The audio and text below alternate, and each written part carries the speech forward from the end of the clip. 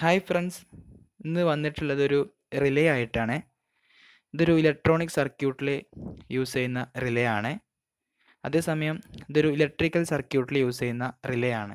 എന്താണ് റിലേ എന്ന് ചോദിച്ചാൽ നമ്മൾ സാധാരണ സ്വിച്ചുകൾ യൂസ് ചെയ്യാറില്ലേ? അതേപോലെ ഒരു ഇലക്ട്രി ഇലക്ട്രിസിറ്റി കൊടുത്തിട്ട് കൺട്രോൾ ചെയ്യുന്ന ഒരു ഇലക്ട്രോ മാഗ്നറ്റിക് സ്വിച്ചാണ് റിലേ എന്ന് പറഞ്ഞാൽ. ഇത് ഇൻവേർട്ടറിലൊക്കെയാണ് ഇത് യൂസ് ചെയ്യാറുള്ളത്. ഇപ്പം നമ്മൾ വീട്ടിലെ കറണ്ട് പോയി ഉടനെ തന്നെ ഈ റിലേസ് പ്രവർത്തിക്കുകയും അത് വീട്ടിൽ വീണ്ടും വെളിച്ചം തരുകയും ചെയ്യുന്നു. എങ്കിൽ നമുക്ക് നോക്കാം ഇതിന്റെ പാർട്സ് എന്തൊക്കെയാണ്. ഓക്കെ. ഒരു ഇതൊക്കെയാണ് റിലേയുടെ പാർട്സ് എന്ന് പറഞ്ഞാൽ ഇതിൽ winding coil movable armature spring അതുപോലെ ഫൈവ് ലെഗ്സ് നമുക്ക് ഓരോ പാർട്സും എവിടെയെന്ന് നോക്കാം. ആദ്യം നമുക്ക് വൈൻഡിങ് കോയിലൂടെ പോവാം. വൈൻഡിങ് കോയിൽ ഇപ്പോൾ ഇതൊരു സ്റ്റെബിലൈസറിന്റെ ഉള്ളിൽ നിന്ന് എടുത്ത ഒരു റിലേ ആണ് ഇതൊരു പന്ത്രണ്ട് വോൾട്ടിന്റെ റിലേ ആണ് ഇതിൽ മഞ്ഞ നിറത്തിൽ കാണുന്നതാണ് വൈൻഡിങ് കോയിൽ ഇതിന്റെ ഉള്ളിൽ വൈൻഡ് ചെയ്ത് വെച്ചിട്ടുണ്ട്. ഈ മഞ്ഞ നിറത്തിൽ കാണുന്ന ഒരു ഇൻസുലേഷൻ കവറാണ് ഇതിന് പുറത്തിട്ടുള്ള ഇൻസുലേഷൻ കവറാണ് ഇതാണ് ആക്ച്വലി റിലേയുടെ കോയിൽ അടുത്തത് മൂവബിൾ ആർമേച്ചർ മറ്റൊരു ഇമ്പോർട്ടന്റ് പാർട്സ് ആണ് ഒരു പാർട്ടാണ് മൂവബിൾ ആർമേച്ചർ എന്ന് പറഞ്ഞാൽ ഇതാ ഇവിടെ നോക്ക്. ഇവിടെ ഇതാണ് മൂവബിൾ ആർമേച്ചർ ഇതിൽ ഈ ജംഗ്ഷനിലേക്ക് നോക്ക്.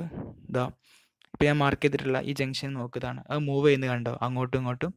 അതാണ് മൂവബിൾ ആർമേച്ചർ എന്ന് പറഞ്ഞാൽ വൈൻഡിങ് കോയിലൂടെ കറണ്ട് പോകുമ്പോൾ അവിടുത്തെ മാഗ്നറ്റിക് ഫീൽഡ് കാരണം മാഗ്നറ്റായി പ്രവർത്തിക്കുകയും അത് അട്രാക്റ്റ് ചെയ്യപ്പെടുകയും ചെയ്യുന്നു. അടുത്തത് ഇതാ ഇവിടെ ഒരു ഇതാണ് മൂവബിൾ ആർമേച്ചർ ഇതാണ് കോയിൽ ഇനി നമുക്ക് നോക്കാം. ഈ കോയിലിൽ നിന്നും ഒരു യോക്ക് കാണാം. ഇതൊരു യോക്കാണ്. യോക്ക് ഷാഫ്റ്റ് എന്ന് പറയാം. ഒരു യോക്കാണത്. Actually yoke. ഒരു യോക്ക് ഇട്ടിട്ടുണ്ട്. അതിന്റെ മുകളിലാണ് ഒരു സ്പ്രിങ് ഘടിപ്പിച്ച് വെച്ചിട്ടുള്ളത്.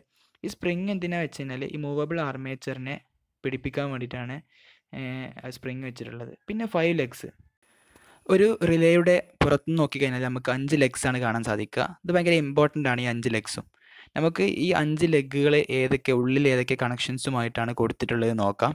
ആദ്യം നമുക്ക് ഇതാ അവിടെ ഈ കോയിൽ നമ്മുടെ വൈൻഡിങ് കോയിൽ കണ്ടില്ലേ? ആ വൈൻഡിങ് കോയിലിന്റെ സ്റ്റാർട്ടിങ് ടെർമിനലാണ് ഇത്. ഈ കറുപ്പ് വയർ സ്റ്റാർട്ടിങ് ടെർമിനൽ അതായത് ഇപ്പുറത്തും ഒരു കറുപ്പ് ടെർമിനൽ ഉണ്ട് അത് എൻഡിങ് ടെർമിനലാണ് ഈ ഇത് രണ്ടുമാണ് ഈ രണ്ട് ലെഗിൽ കൊടുത്തിട്ടുള്ളത്.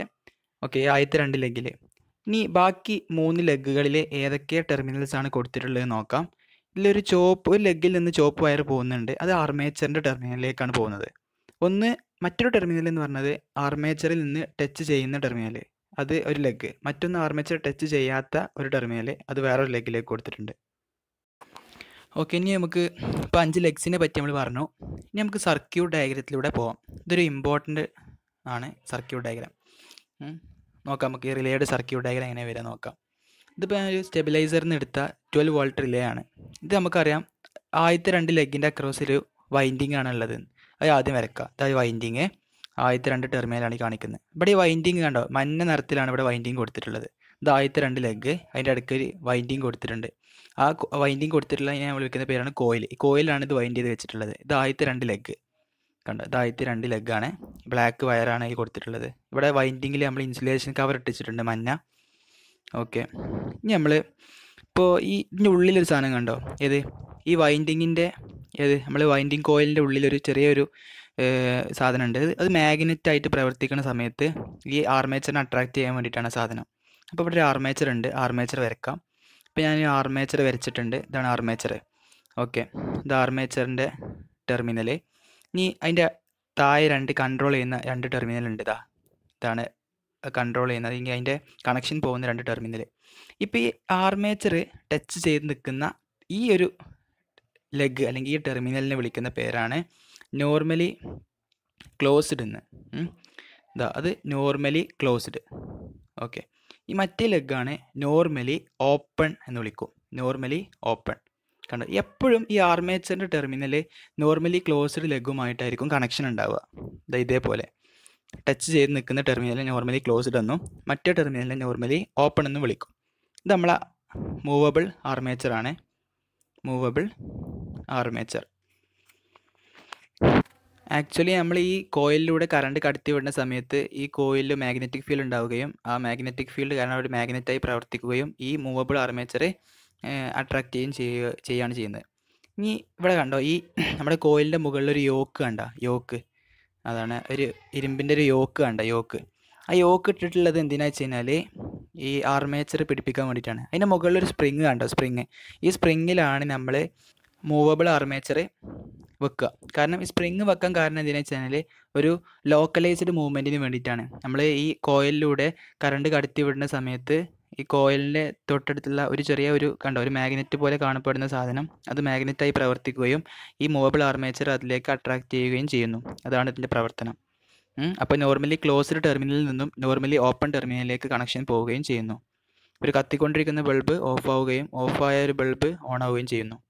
അപ്പോൾ ഇതാ ഇപ്പോൾ നമ്മൾ ഈ മൂവബിൾ ആർമേച്ചറിൽ നിന്ന് ഒരു ടെർമിനൽ എടുത്തിട്ടുണ്ട് ഒരു എക്സ്ട്രാ ടെർമിനൽ നേരെ ഒരു ലെഗിലേക്ക് കൊടുത്തിട്ടുണ്ട്. കണ്ട? മൂവബിൾ ആർമേച്ചറിൽ നിന്നും ഒരു ലെഗ് നമ്മൾ എടുത്തിട്ടുണ്ട്. അതാണ് ഈ കോമൺ ലെഗ് എന്ന് വിളിക്കും.